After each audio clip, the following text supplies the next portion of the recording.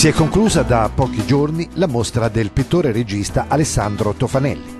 La mostra è stata apprezzata moltissimo e sono stati in tanti i visitatori. Le opere erano esposte nelle sale della Fondazione Banca del Monte a Lucca in piazza San Martino. Parlare di Tofanelli pittore non occorre essere dei critici o dei profondi conoscitori dell'arte.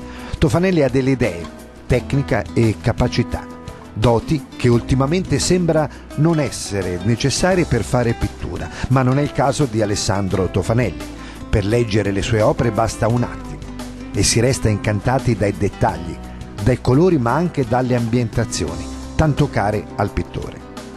Il suo guardarsi intorno diventa fondamentale quando si hanno idee e tecnica, ma anche conoscenza della fotografia, le sue opere sono anche ricche graficamente, ogni soggetto al punto giusto e probabilmente Tofanelli si diverte a farci vedere, a farci osservare quello che lui desidera, segno di una padronanza assoluta del pennello e della tela. Lo ribadisco, Alessandro Tofanelli è semplicemente bravo. Ascoltiamolo soddisfatto di aver partecipato a questa sua personale a Lucca. Sì, è stata un'occasione importante perché dopo tanti anni sono tornato a Lucca. Io ho cominciato facendo gli studi, quindi con l'Istituto d'Arte qui di Lucca, poi ho lavorato per diversi anni con una galleria importante sempre qui di Lucca che era la Blue Chips di Omero Viagioni e lì praticamente è cominciata la mia, la mia storia, la mia carriera. Eh, Omero Viagioni, attraverso Omero Viagioni conosciuto un grande, grandissimo critico che era Piercarlo Santini, quindi insomma devo dire che il legame con Luca è fortissimo, poi come succede sempre uno poi va in giro, comincia a, a, a girare il mondo e dopo un po' di tempo mi sono tornato, ritrovato qui e l'ho fatto con gran piacere. E da Lucca a Viareggio il tratto è breve e a breve appunto avremo modo di parlare di Tofanelli anche in veste di regista.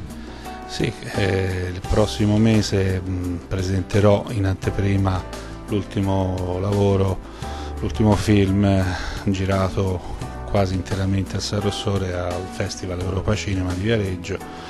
È un piacere perché dopo qualche anno torno a Europa Cinema, già in precedenza avevo presentato l'altro mio film Contro Natura e lì avevo preso anche il premio della speciale della giuria che tra l'altro mi portò bene perché poi lo, oh, il film venne portato in giro per il mondo, in America e un po' per, per, per tutta Europa.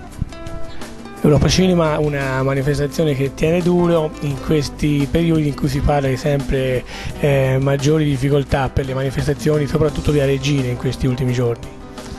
Sì, Viareggio sta attraversando un momento nero, diciamo la verità. E triste vedere una città così dire, viva che nel corso di tempo abbastanza relativo si è ritrovata veramente a rischiare di perdere i suoi gioielli, sì, Festival Gave, Premio Viareggio, eh, Festival Pucciniano che comunque è uno dei festival importanti e, e anche il Festival Europa Cinema è stato comunque un po' a rischio, vabbè c'è anche il carnevale che non viaggia proprio, cioè, io credo che ora eh, sia veramente il momento di cominciare a ripensare un po' tutti questi aspetti perché credo che Viareggio abbia le potenzialità per poter ritornare alla grande in quello che, che poi è, sono gli aspetti che, che, che, la caratterizzano, cioè la cultura, questa cultura che